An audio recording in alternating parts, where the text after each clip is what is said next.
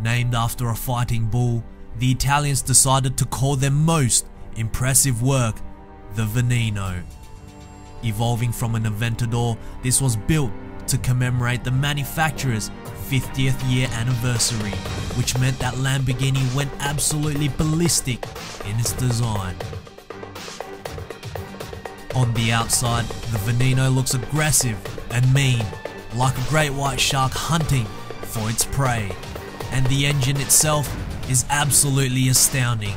With no turbos or electric motor, Lamborghini still managed to extract 740 brake horsepower from their 6.5 litre V12 engine.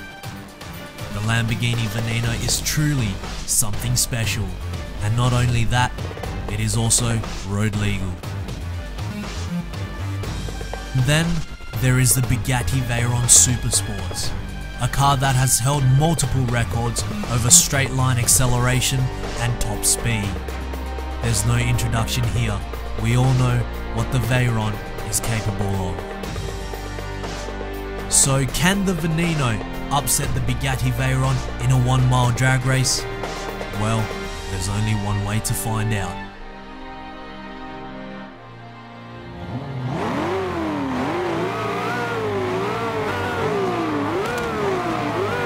Three, two, one, go!